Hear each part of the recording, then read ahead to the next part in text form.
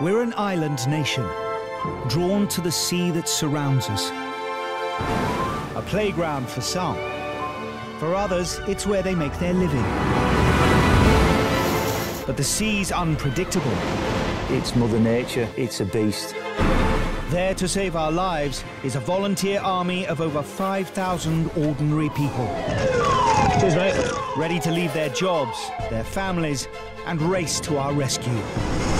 When the pager goes, it's that adrenaline rush every single time. You could make the difference between life and death. I feel very lucky. Them bringing me back to life again was a miracle. Okay. Equipped with their own cameras. Just the two of you? Come on, yes! The crews give us a unique insight into every call out. Nice deep breaths, okay? As only they see it. The ambulance is here, okay? For those who risk their lives, it has become a way of life. Come on! You have to do your best because somebody's family are relying on you to save them. Hold on!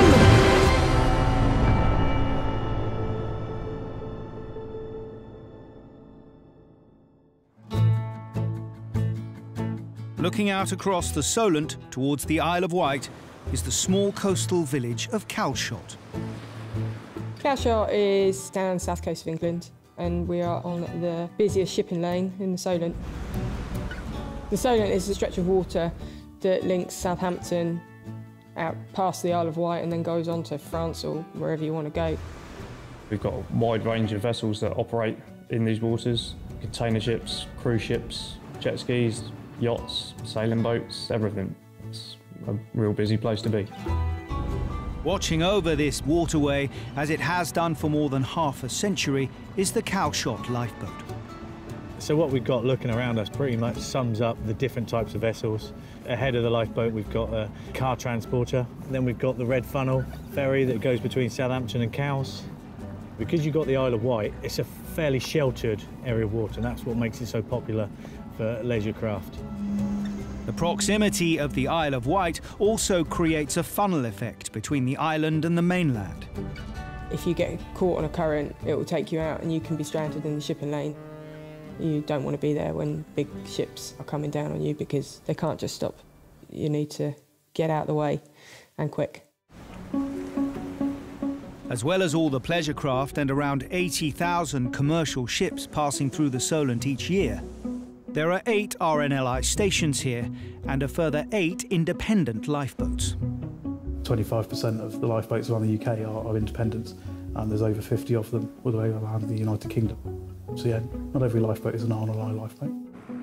The independent ones, they do a great thing, whereas we respond to pages from the Coast Guard. They go out and patrol and help out where they can, really. We're all there to do one job, ultimately, and that's to save lives.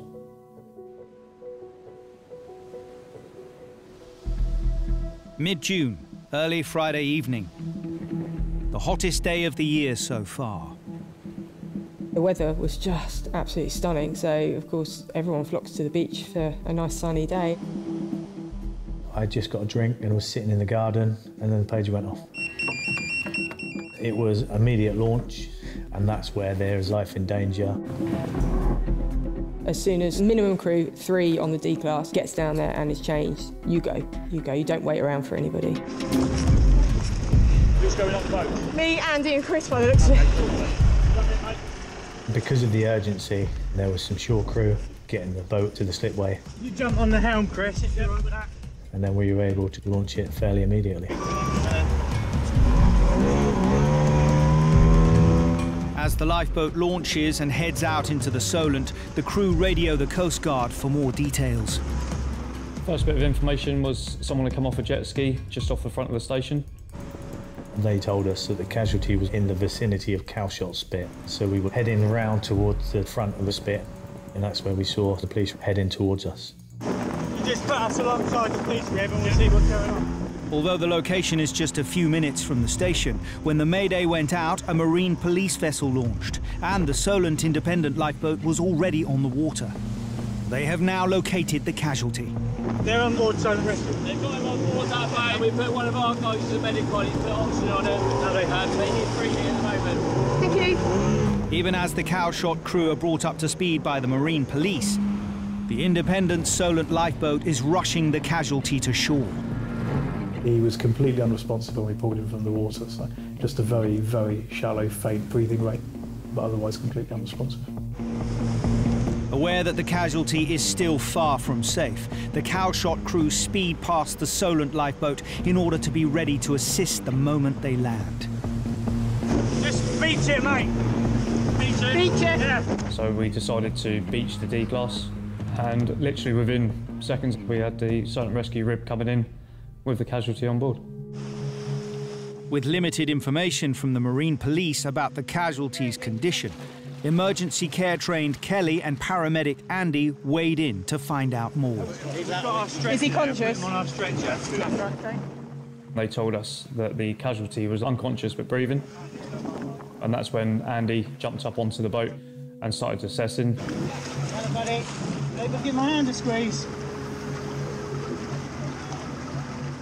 The casualty wasn't responding to a voice, um, wasn't responding to any pain stimulus. Lifeless is the best way of explaining it. He looked lifeless. I need the oxygen out. Can you get uh, OPs as well? Because they're in there. He was breathing, but he still needed some help. Uh, so we got an OP airway in and gave him some oxygen. The priority in that situation is to stop him getting worse. He's down here. Head nutters, yeah. Uh, yeah. We had oxygen on him. Coming up beside you. Then it was looking at getting him ashore so we could do a full assessment. Amazing. That's when I could see that he had stopped breathing. The priority immediately switches from carefully transferring the casualty to getting him ashore as fast as possible. I felt for a pulse. Steve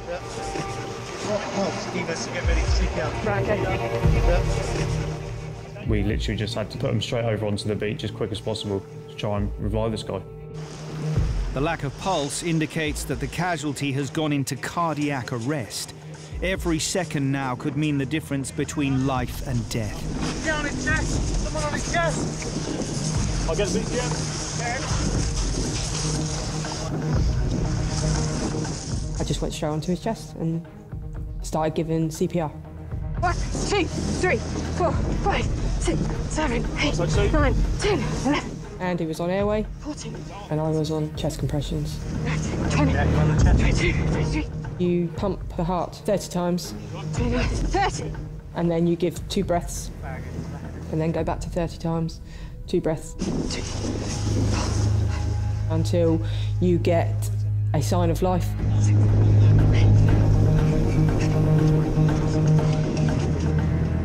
You've got this young man who is technically dead. And all that kept going through my head was he was someone's son, someone's brother. He needs to go back to them. And that was what was, yeah, in my mind. Oh, dear me. oh. I'm just going to have a feel of his pulse once you're off again.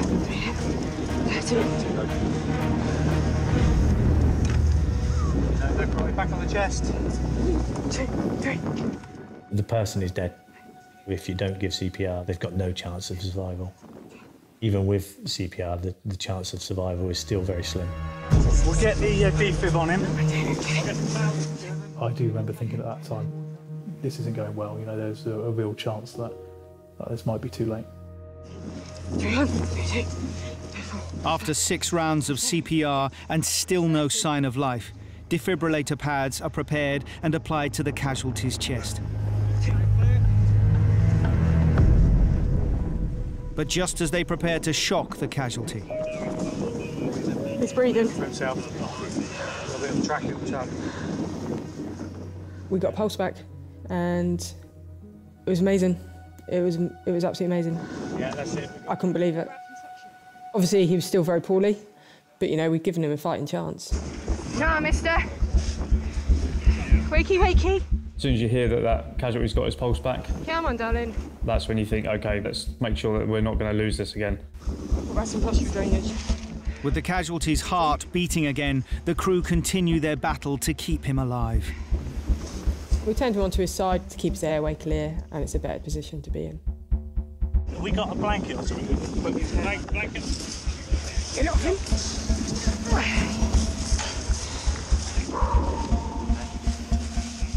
Having done what they can with the equipment they have, the crew continue to monitor and comfort the still unconscious casualty until the ambulance arrives. A few minutes away. Come on, sweetheart. Open them eyes. We have no name as of yet, and he has come off a jet ski um, and taken in some water, from what I can believe. Uh, we have done some chest compressions. Paramedic arrived with the ambulance, and we handed over to them. Okay. So, if you're happy being on the monitor, Yeah. and can you just keep an eye on, you know, the sats and things, and Yeah, that he's still absolutely. breathing spontaneously? Yeah. As the paramedics prepare to carry the casualty to the ambulance, Right, we're going to do the lift now. Is everyone happy? Yep. We're on the, on the basket, we'll lift it in. one of his friends on the beach puts in a call to the casualty's father. I was at home and my partner got a phone call saying that Dan had an accident. On lift, ready, steady, lift. I just thought that he had knocked himself out and he was going to hospital with a concussion. So we needed to get down there to bring him home again. Okay, we'll probably need a few hands just to get over the rocks here once we're secure, guys. While we was en route, we had another phone call saying that they've now got Dan breathing, which I said I didn't know he wasn't breathing. Ready, steady, roll. So yeah, that made it a harder journey. So I know how sort of serious it was now. Yeah. What made it particularly hard for David was that he'd been in this situation before. We lost our daughter in 2016. Crossing the road, the lights went green and an Arctic lorry pulled off and basically took her under it. Her last actions was to push the pushchair away to save her daughter. Now we're raising a granddaughter um, and we couldn't lose another child now. We walked into the A&E just expecting, oh yeah, Dan's being seen, take a seat in the waiting room. They said, come to the family room, and my knees nearly buckled because we've been to a family room before, and I, I knew it wasn't good. Yeah, no, it wasn't good. David was told that Dan had suffered two brain injuries, one from falling off the jet ski and one from oxygen starvation. They put him into an induced coma to stop the brain working and damaging itself more. Every day was hoping Dan would start waking up, but just no sign, no sign of life, nothing. Just basically watching him sleep. Hand on my heart, I didn't think he had a chance.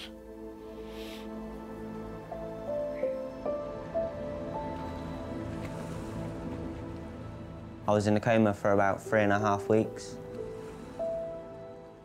And then I come back round and I was in the Royal Berkshire Hospital.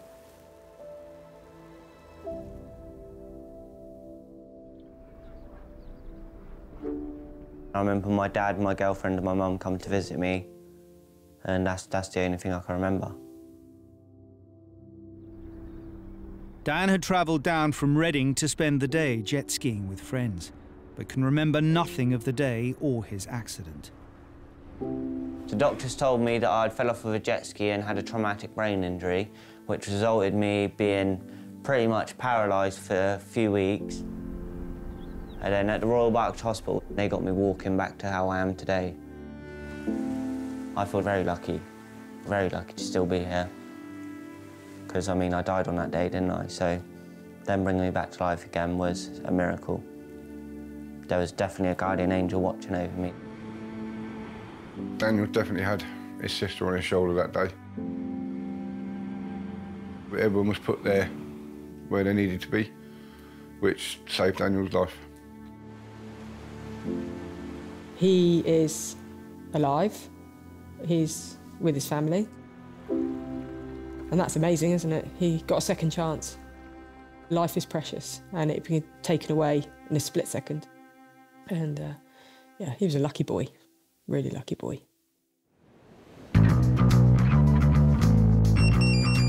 As well as dropping everything when the pager sounds, the volunteer crews of the RNLI also train regularly so that when the call does come, everyone is primed and ready.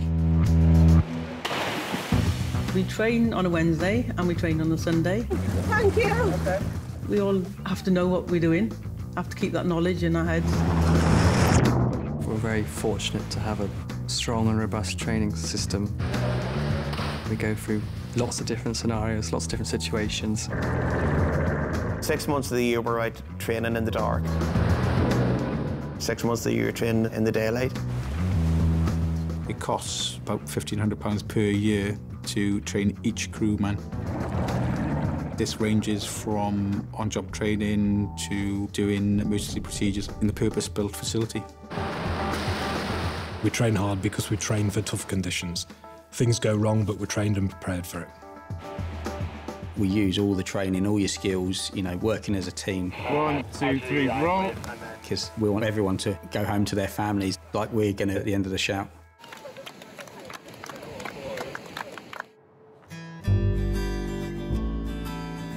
In the northwest of England, lying between two major rivers, is a 60 square mile area of land known as the Wirral Peninsula. The Wirral Peninsula is in between Liverpool and North Wales. So it's three sides surrounded by the water, the River Mersey on the north, the River Dee on the south, and Liverpool Bay out to the west. The Wirral is what I consider an area of outstanding natural beauty. We get a lot of tourists and a lot of visitors to the beaches, ramblers walking along the banks. Also, undoubtedly, the North Wirral Peninsula has some of the best sunsets that you'll ever see. But as well as all this beauty, the Wirral also has a darker side. What makes the Wirral Peninsula unique from other coastal areas is our large tidal range, which can be 10 metres between low and high water. That's 10 metres of water rushing in at a, a faster pace than you can walk. With the high tidal ranges and the geography of the beaches, we have a lot of mud flats. The mud in the area is particularly dangerous. It will suck people in up to waist deep, chest deep, and you, you cannot free yourself. The more you wriggle, the deeper you're going to go down into the mud. The Wirral has a long tradition of lifeboating with three stations based here West Kirby, New Brighton, and Hoylake, which may be one of the oldest stations in the network, but has one of the newest pieces of kit. At Hoylake, we have an inshore rescue hovercraft. The hovercraft flies on a cushion of air, so we can literally go over sea, land, mud. As the tides change, as the mud becomes more prevalent, humans can't walk there, but the hovercraft can get almost anywhere.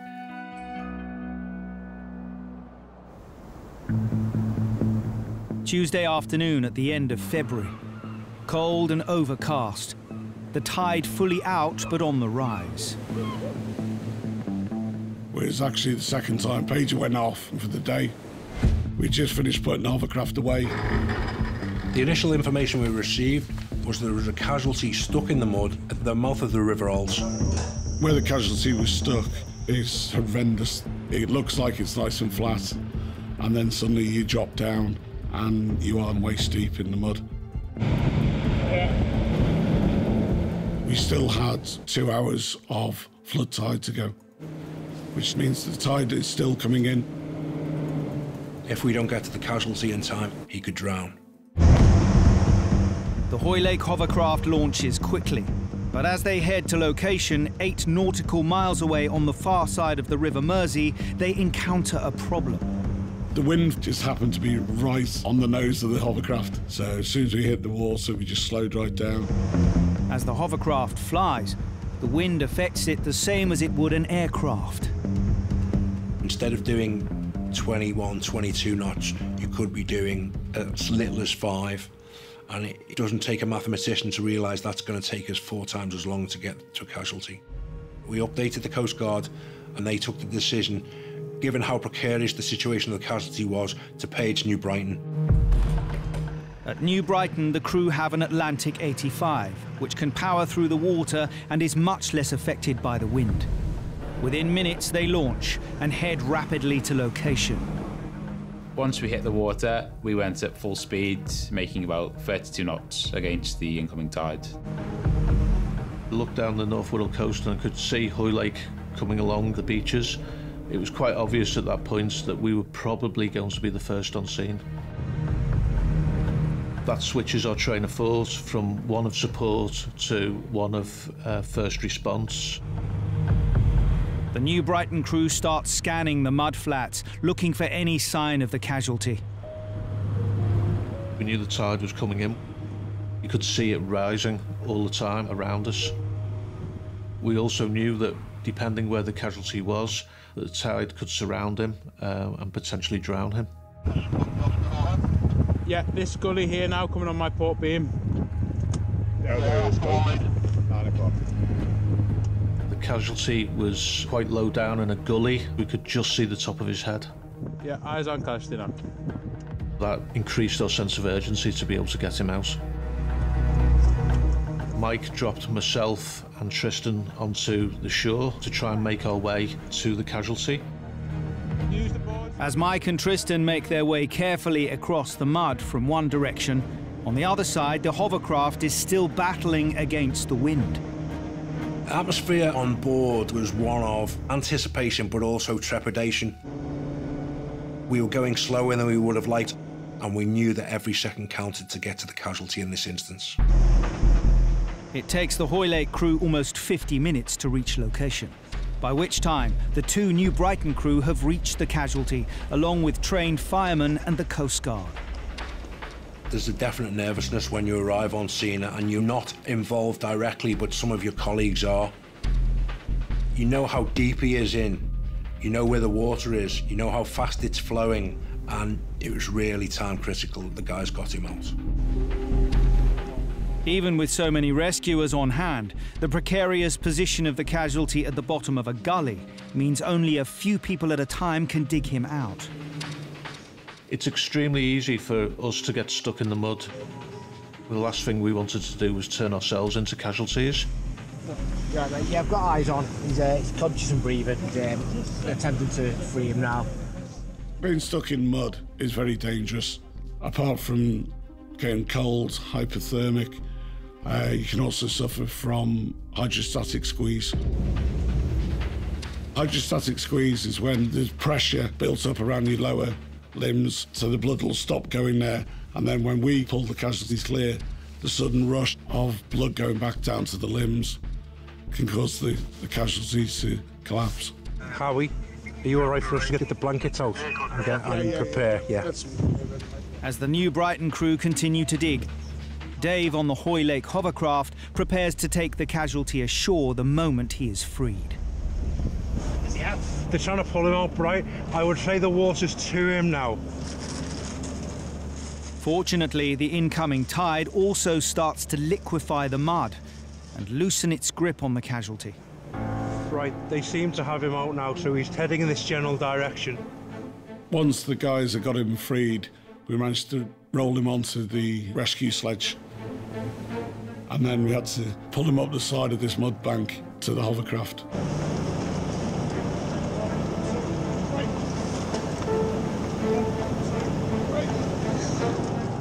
When we saw him on the sled, you breathe a sigh of relief, but the job's only half done at that point. You've only stopped one potential avenue of disaster. Okay, turn around, stop down on there. There you go.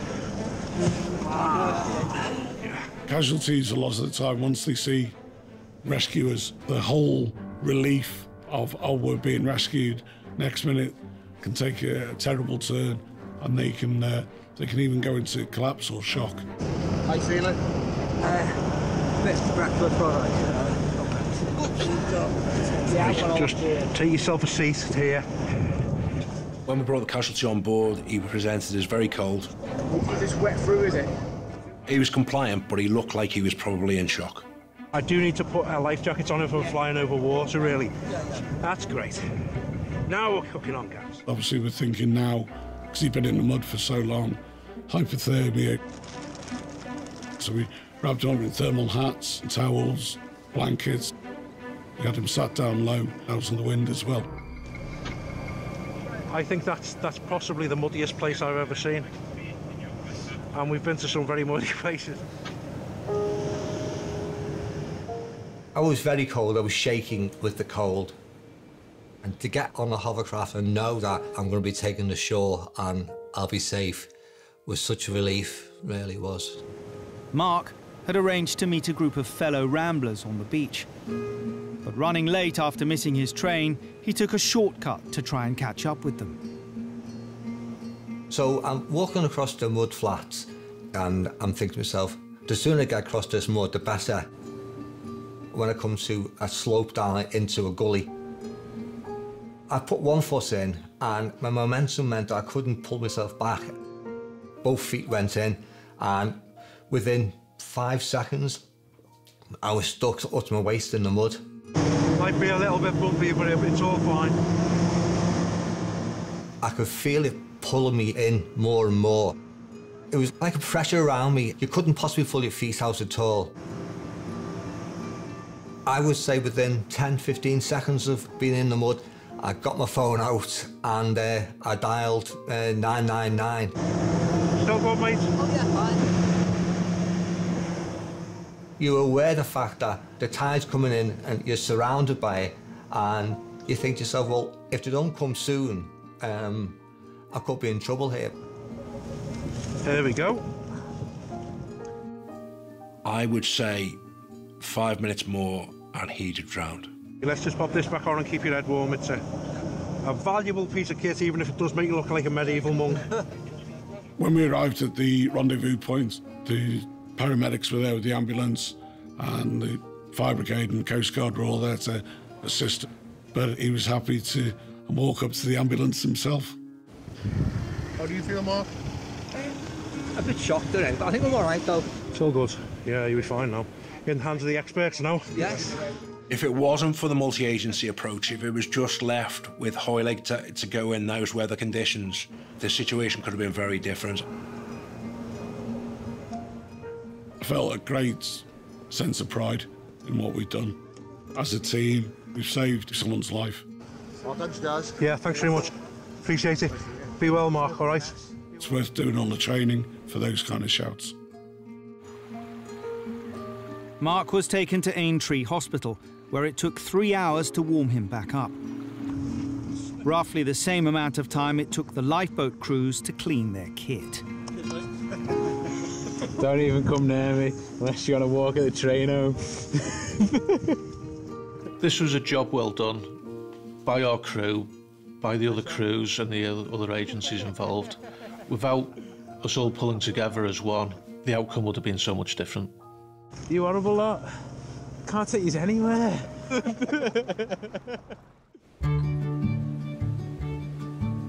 On the opposite side of the country, and home to one of the busiest passenger ferry terminals in the world, is the historic port town of Dover. Dover's a busy town. We have the ferry industry locally, which means that we have lots of traffic travelling through the town. Perceptions of Dover is likely that you probably pass through it going to somewhere nicer on the continent. Dover might be seen as not the tidiest of places, but actually it's really, really beautiful. It's got so much history to it. There's some rich heritage in Dover.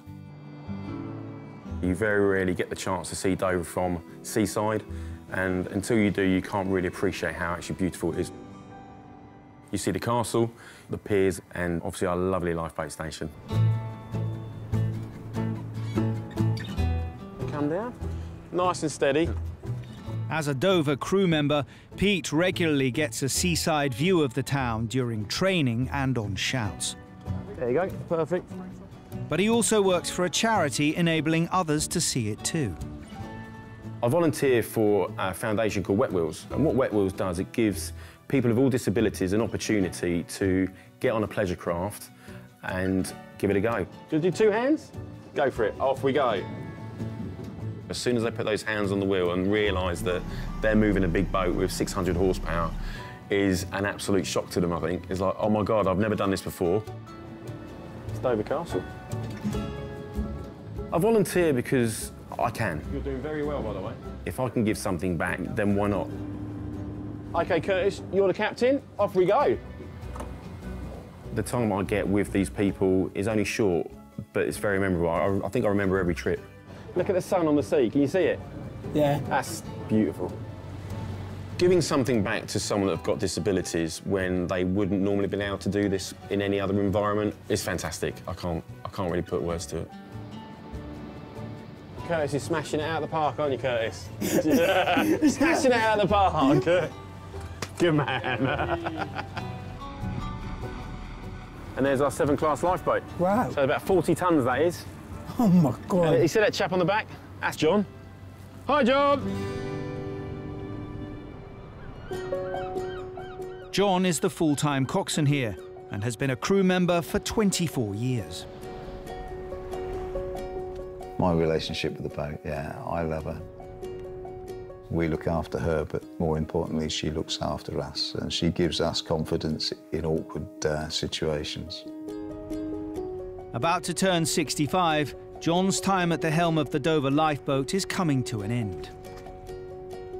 I'm not looking forward to retiring, but it's something that you've got to do. Uh, your mind is never as old as uh, your body is.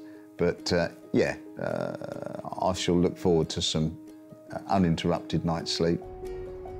With these busy waters providing a wide range of emergencies, the Dover crew respond to over 100 shouts a year.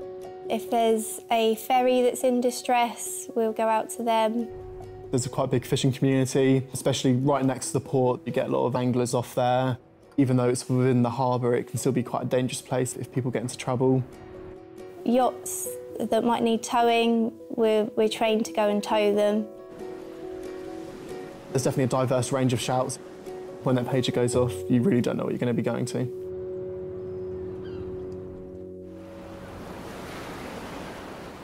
A dark and stormy Monday night in late February. The pager went off about half past 10 at night. I was sat at home watching TV. I stopped everything I was doing and drove to the station.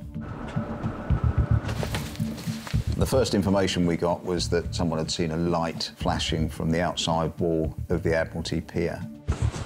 The Admiralty Pier is a very popular spot for uh, angling. People do tend to walk out on the very small ridges of the flare.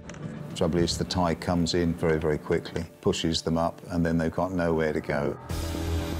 The crew launch in 15 minutes, but although the Admiralty Pier is next to the lifeboat station, the light has been spotted on the exposed outboard side, and the rising tide means time is against them. The Admiralty Pier is a very difficult place to rescue someone at night. We have to proceed approximately a mile to sea to exit the western entrance and then double back on ourselves. There's definitely a sense of urgency. John was telling us he wanted to prep the Y boat. Up, up, up, up, up, up! The Y boat is a small inflatable dinghy carried aboard the ALB to be used in shallower waters. The Y boat can be the safest way of extracting someone. It's quite low down, very manoeuvrable, and it can easily transport one or two people back to our Severn class lifeboat. The deck crew prepare the Y boat for launch as the lifeboat exits the harbour, giving the crew their first taste of the raw sea state. As soon as you get out of the protection of the port, the tidal conditions do change very rapidly. On that particular night, it would be a flood tide, so it's coming up the channel. Plus, we had a southwest force five to six. Yeah, it's a little bit lumpy. Once you get to the other side of the pier, you get the effects of the backwash. Oh, it's up there a bit. The waves hit the pier and then reflect off it and then start breaking into each other. And that can make it very, very uncomfortable.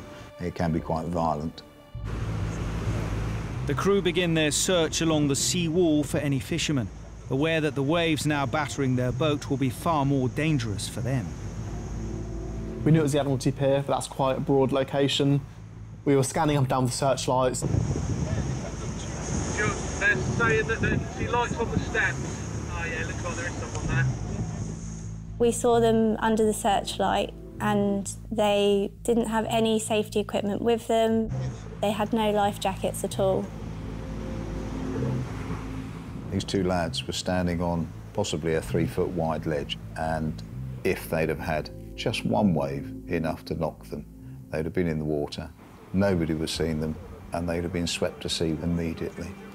they were in grave and imminent danger. Two life jackets, guys! Two life jackets! The rough conditions mean that the plan to extract the casualties using the Y boat is no longer a safe option. With that sort of sea, if she'd have been caught beam on, there was a good chance that she would have capsized. We don't want to put ourselves in more danger than we need to be rescued ourselves. So we had to think of a different approach. There's no safe point for the Coast Guard to get on there, and even a helicopter extraction there would have probably been too risky. We were their only chance. Ah, right, I'm going to try and take the bell. With the tide still rising, the crew decide that despite the churning sea, the only way to rescue the casualties is to move as close to the wall as they can and take them directly onto the bow of the lifeboat. You need to get close enough so that the people can pretty much step across. It's all about boat control and anticipating the changes in the sea so that you can control how close that you can get to something. Taking people from the bow is something that we practice a lot in exercises, but I've never done this in those conditions before. John moves the boat closer to the wall, familiarizing himself with the wave patterns as the deck crew attempt to communicate the rescue plan to the casualties. Quick, talk to me. What's going on? They're not responding. Trying to get them to understand what we needed to do and to highlight the risk that they were in was quite challenging. They're saying they're okay. The tide is still coming up. It will get you. They seem to be oblivious to the danger that they were in. They continue into angle. They actually wanted to bring their fishing rods and things with them, and we had to tell them, you have to leave it and you have to come on board. Come on now! Get yourselves ready! I was quite assertive, or we were all quite assertive, saying, look, guys, leave the kit, let's get you safe. And we had to do that by getting them a life jacket across to them. You ready, guys? With a high risk of a rogue wave washing the casualties into the sea before they can be rescued, the crew's first priority is to make sure they will at least float. So once they got their life jackets, we repositioned the boat. I had Pete outside the rail, clipped on. Evan was holding my life jacket to make sure if I did slip or trip, the risk of me going in was reduced. Robin had to go down the port side rail because she was going to be the person that grabbed them in once I pulled them on board. You all right? I felt very nervous. We didn't know which direction the waves were going to push us, which made it really quite a dangerous scenario. We're going to put the front of the boat to you. We're going to grab you off quickly, okay? John slowly edges the 40 ton lifeboat towards the wall, constantly fighting the chaotic movement of the sea. How close am I, Dan, do you reckon? Hey, you're about a metre and a half off the bow. From the flying bridge, it's very difficult to gauge how close you are. You need to be very close, almost touching, but you don't want to touch. Metre. East Willer nose the boat in so that he doesn't damage the boat or, or damage the casualties, you know, there's, there's a risk he'll crush them. It was the accuracy of John getting as close as he could to the casualties on that ledge. It was the timing of the waves that you couldn't see. It was the light that you needed from the moon, which we didn't have. So all the elements were against us. John continues to gently nose the bow into the casualties' position. But just as they're almost within reach, a huge wave rolls out of the dark, pushes the boat away, and almost sweeps the casualties off the ledge. If these casualties end up in the water, that would be an absolute worst case. I think with them seeing our boat going up and down probably one and a half to two metres, that started to make them realise that, yeah, they're in trouble. With the tide still rising and the waves growing bigger, John and the crew prepare for a second attempt. I had to see if I could get the boat into a better position. It's never easy, and in those circumstances, it certainly wasn't. For a second time, John manages to maneuver the boat to within feet of the casualties. But they hesitate and fail to make the jump. Each time that we brought the boat to the wall, we're all thinking, we, we have to do this now. The window of opportunity is really small because the tide was still coming up and you've still got the wave height on top of that. So the tide may be seven metres, but you might have another two metres of a wave that could smash her. When they're ready, they've got to go. Don't let them hesitate. John prepares to go in for a third time. On that third attempt, as we nosed in, almost as, as if time slowed down in a way. The rolling waves push the boat further along the wall. Come on, guys, get along here! But John manages to keep the bow close as the crew urge the casualties to make the jump. Grabbed the first casualty, pulled him down my left side. I grabbed hold of him so that he didn't fall off of the boat. Got the second casualty on the second rise of the boat and then pulled him straight in. Both of them. Word the expression, your heart's in your mouth. To have them on the boat, no longer in danger, was a really massive relief. I've just recovered two people from the outboard side of the Admiralty Pier who'll be returning to station shortly. Over. You can relax at that point, you know, they're on board, they're not injured, there's no medical emergency. They turned out to be local fishermen from Maidstone and um, they just thought they'd have a fishing night. They were quite quiet still, maybe a bit embarrassed, but all that aside, they were safe. They said thank you and they said sorry. If they'd have gone in the water, they would have been whisked away in no time at all. I've got no doubt in that sea, with, uh, with no life jacket, they would have drowned very, very quickly. John, hats off. You've done well there. That was an impeccable boat handling, wasn't it? Yeah, hats off. On that show, I think John did a really amazing job. It was a true show of his seamanship and boat handling skills. Well done, guys. Thank you very much. That was your shout, John. I think I did make a comment that says, that weren't bad for one of your last ones, mate, and uh, he goes, yeah, it was all right, wasn't it? Make off there, please, Evan. I will remember this shout for a long time. It was a short, sharp, intense shout with a great outcome. Um, fantastic teamwork. Well done by everybody. Wheelhouse Bridge, boat's all yours.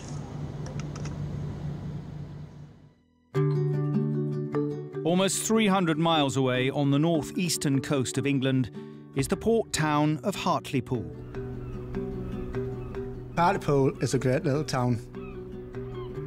It's only a small community, but we have a large fishing fleet, we have a large marina, and we have a beautiful coastline both north and south.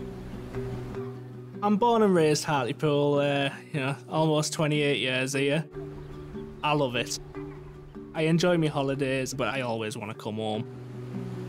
A small but tight knit community of proud locals, Hartlepudlians, are also known by another name. We actually nicknamed the monkey hangers. No matter where you go in the world, your accent, and uh, oh, you're a monkey hanger. The monkey hanger story was actually from the uh, Napoleonic War. The French boat shipwrecked on the headland, and there was a, a little monkey washed up. No one's seen a monkey before, so we thought it was a French spy. So we hung it. The story stuck with the town ever since, like. A hanged monkey is even the emblem of the local lifeboat, which has been operating since 1803, the same year the Napoleonic War started.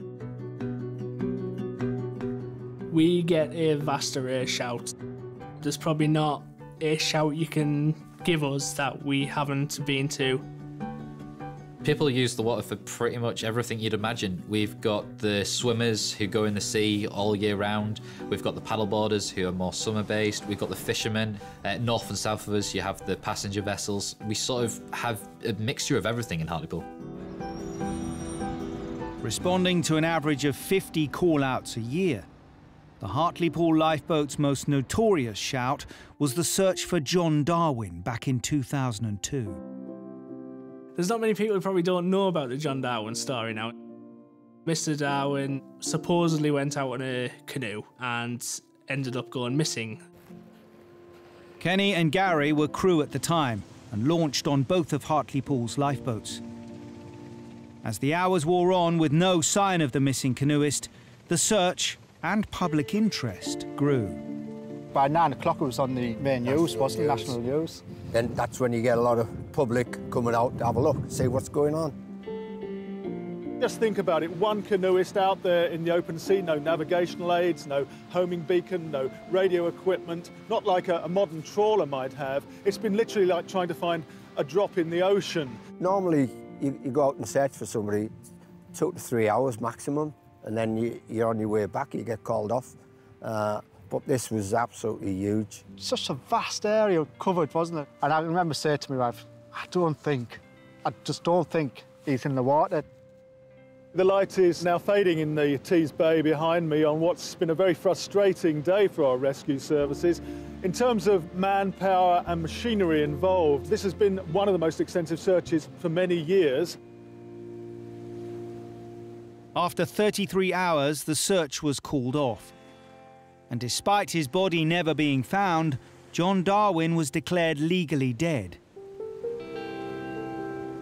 But then, in 2007, Detectives are expected to start interviewing a canoeist who went missing five years ago off the coast near Hartlepool, but turned up safe and well at a London police station on Saturday night.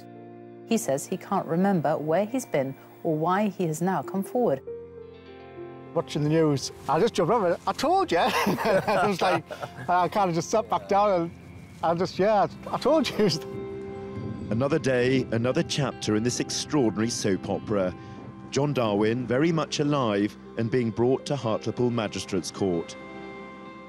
John Darwin was eventually convicted of fraud for faking his own death to claim the insurance money. The key to the Darwins' incredible plan was to start a new life together in Panama. The couple spent thousands on an apartment, a new car, and even a farm that they had planned to turn into an eco-tourism centre for canoes. John and his wife Anne both received prison sentences and were ordered to pay back all the money they had falsely claimed. Despite everything that happened, I think we all just relieved that it was safe yeah. and Still he's alive. Yeah. Whether they've done something silly, that's that's down to them. We're not But there to judge. We're not there to judge.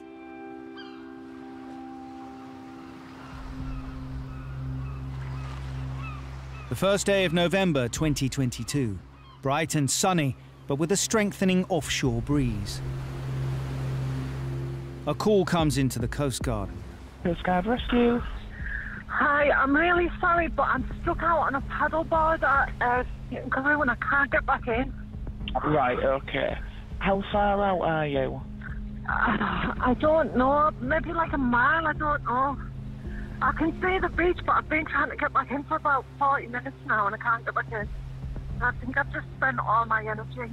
Right, okay. Just stay on the phone. We're just getting some help sorted. Thank you so much. The Coast Guard alert the lifeboat, but keep the casualty on the phone to continue gathering information. The pager went off and it's an immediate launch. This particular area where this casualty was and the direction of wind, she could have quite easily been blown into a heavy shipping lane. They could be up against heavy winds, they could be against heavy seas, they could have fallen from the board and gotten an injury. Every second counts, you've got to get there because realistically, it could be someone that you're about to lose. As the crew lower their Atlantic 85 down the slipway, more information comes over the radio, revealing that there's not just one life at stake, but two. Paddleboarder getting very tired, obviously, with the weather. A small dog with her as well. As you can proceed, locate and uh, recover to safety. Received. At this point, the agency stepped up because the dog can swim, but the casualty may panic, go in the water with the dog, and not be able to get back to the board. We've had one or two occasions where the pets have made it to shore unfortunately the owners haven't made it to shore. With every second now vital, Kenny, the helm, plots the fastest and safest route to the casualty's location. Getting to the casualty, there's a large rock which is submerged. As the tide was on its way up, and it was a spring tide, I decided then that I could cut, cut across the rock. I'm going over the rock, so watch me depth. I had Jordan on the navigation, Colin doing the comms, and radar searching. Worst case scenario is that we'll find a paddleboard but no paddleboarder, and then we'll need to start searching for them, which is always a risk against time, and you don't want that to happen. Taking the shortcut over the rocks reduces the journey time to Seaton Carew Beach to less than five minutes. So just as we were coming over Long Scar Rocks, I could see her on the horizon on my bow. It was then make a beeline straight towards them and assess the situation from there. As they approach, the casualty appears to be safe and well, so the crew turn their attention to dealing with the dog. Probably have to bring the dog on first. When you hear a dog's involved, you're always a little bit apprehensive. Is it going to be aggressive because it's cold? It's, it just wants to go home. When they're scared or if they're not exactly the friendliest dog, they might bite you. Standard operating procedure when handling any dog is to put on protective gloves. Even if the dog in question Yeah, I'm at the dog. is a Chihuahua. Hello, little doggy. I didn't think it was a dog up there, so it's that small. Personally, I consider chihuahuas to be the demons of the dogs. They can be quite vicious for their size. The dog just seemed cold. I gave him straight to Ken and just curled up in Ken's lap. With the Chihuahua safely on board and under control, the crew are now free to rescue its owner. Just cold? Yeah. Anything else going on, or just just the coldness, tiredness? Once we got her on board, you could see she was visibly cold. Put a jacket on so you can get her warmed up. Just shift back slightly. We'll get you a nice seat, and then we'll head back. Rather than risk the two mile journey back to station in an open boat, the crew decide to wrap up both casualty and dog and get them back to the nearest beach. We're going to get the Coast Guard team to meet you back at Sandy Car Park where you launched from. We'll get you back in, eh? The lifeboat heads to shore, with Kenny on the helm doing his best to shelter the casualty from the chilling wind. It's an open boat, so you're open to all the elements. And this particular day, with the strong wind, it was absolutely freezing. I won't go fast to try and keep the wind off her a bit. All right. You're blocking it quite well. Sorry? You're blocking it quite well. All right. That's it. That wasn't meant how it came out. He didn't quite take that the way I thought he would. I was more meaning a joking fashion. He took it a bit personally, I think. Can't believe I get called fat. wasn't my The lifeboat gets as close to land as it can. Then the casualty and crew have to wade the rest of the way to shore. I jumped over and held the ILB. Uh, then Jordan got the casualty off.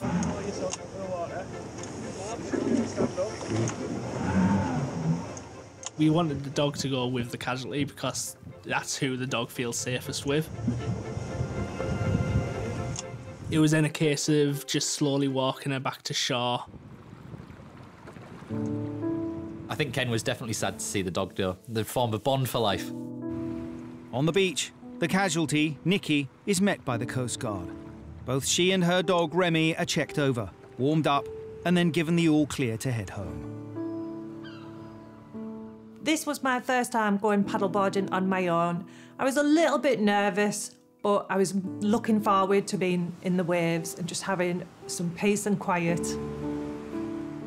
I lifted Remy on the board and we paddled out. First realised that things were going wrong when I tried to get back into shore. I was trying my hardest to, to paddle in and it just felt like I was getting nowhere further forward. Remy was starting to get cold and tired himself. He tried to swim back to shore and abandon me. I was really panicking, but I didn't have the energy to swim after him. He got to a certain point and I think he realised, oh no, I better turn back and, and, and come back for help. Cold and shivering, Nikki decided to call 999 before she drifted too far from land and lost signal. When I seen the lifeboat coming towards me, I just felt the surge of relief. I just knew we were going to be safe and everything was going to be fine. Definitely felt like a job well done. And at the end of the day, we went out, we assisted, and we possibly saved someone's life and their dog as well. So it's not just the person, it's the animal. Salvatore, half dog. I was a bit embarrassed about needing to be rescued, but I was just so grateful that they had come because I don't know what would have happened if I didn't call for help. You don't have to be sorry for calling the lifeboats out. If you need assistance, call us. We're never all to grudge. I can't believe you called me fat. I didn't call you fat. Oh, you block the wind pretty well there, you are.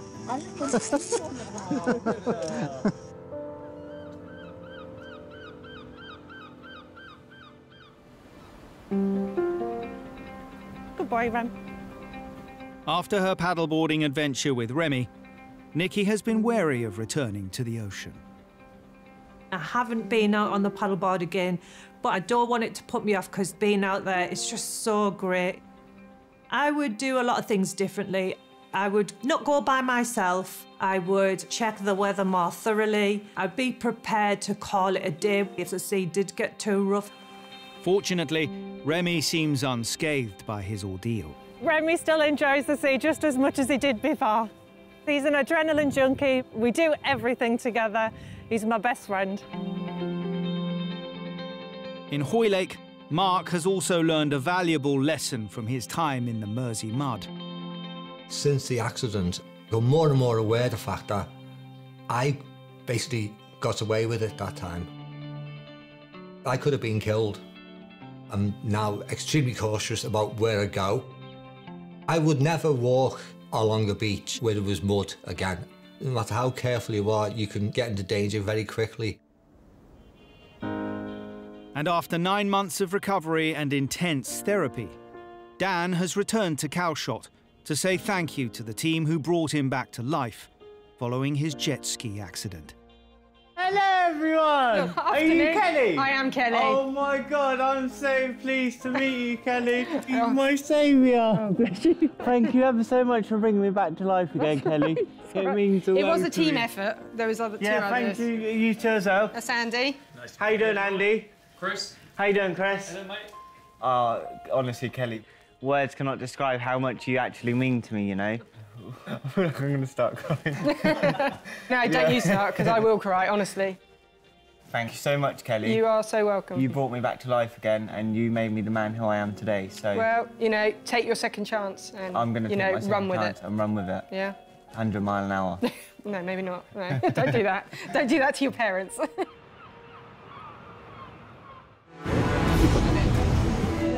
Okay, fella, how you doing? I've very infrequently seen a guy who looks more like he's about to die. It scared the life out of me. Don't, because if the rod touches the boat, it's going to hurt. A piece of metal had just gone straight through his finger. And every time it moves, it's causing him agonising pain. If the boat goes on the rocks, the engine hits, I'd say that was game over.